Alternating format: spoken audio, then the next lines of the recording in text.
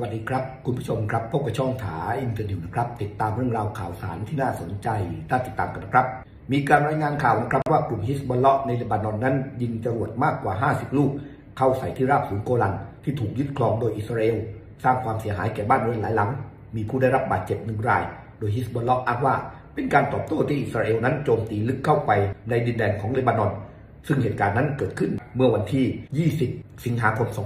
2567 นะครับ โดยการตอบโต้ของฮิสบอลเลาะนั้น ก็เกิดขึ้นในวันที่ 21 สิงหาคม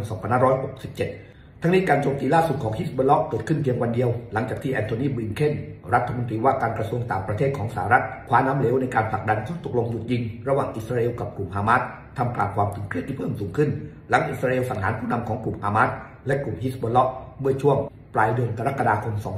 2567 ที่ผ่านมา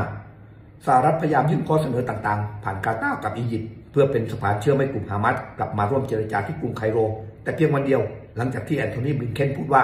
สหรัฐกับอิสราเอลมีความเห็นตรงกันทางด้านเบนจามินเนทันยาฮูนายกรัฐมนตรีอิสราเอลก็ออกมากล่าวว่าไม่เห็นด้วยในประเด็นสำคัญที่สหรัฐนั้นเสนอ ทางด้านเบนจามินเนทันยาฮูยืนยันว่าอิสราเอลต้องการประจำการทหารที่ฟิลาเดลเฟีย corridor บนเส้นแบ่งเขตชายแดนกาซากับอียิปต์พวกเขายึดมาจากกลุ่มฮามาสขณะที่ฝ่ายฮามาสต้องการให้อิสราเอลถอนทหารทั้งหมดออกจากฉนวนกาซา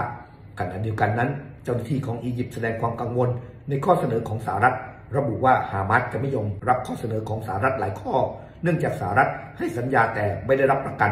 ซึ่งเป็นเรื่องที่ฮามาสรับไม่ได้ เพราะมันหมายความว่าฮามาสจะต้องปล่อยตัวประกันในช่วงหยุดยิง 6 สัปดาห์ตามข้อเสนอ แต่ไม่มีการรับรองเรื่องของการหยุดยิงถาวร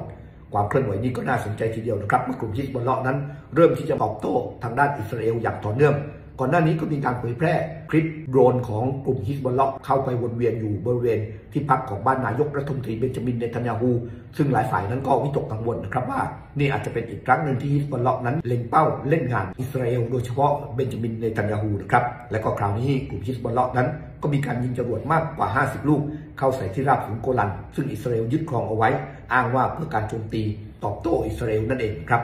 ความเคลื่อนไหวเหล่านี้ก็เป็นอีกหนึ่งความเคลื่อนไหวที่น่าสนใจ ที่ช่อง THA Internews นั้นเกาะติดมาให้คุณผู้ชมได้ติดตามรับชมรับฟังกัน หากว่าคุณผู้ชมนั้นชอบเรื่องราวข่าวสารจากต่างประเทศแบบนี้ ฝากคุณผู้ชมนั้นกด subscribe กดติดตาม ช่อง THA Internews ในทุกๆวันนั้นเราจะมีเรื่องราวข่าวสารจากทั่วทุกมุมโลกมาให้คุณผู้ชมคุณผู้ฟังนั้น ได้ติดตามรับชมรับฟังกันแบบนี้ครับ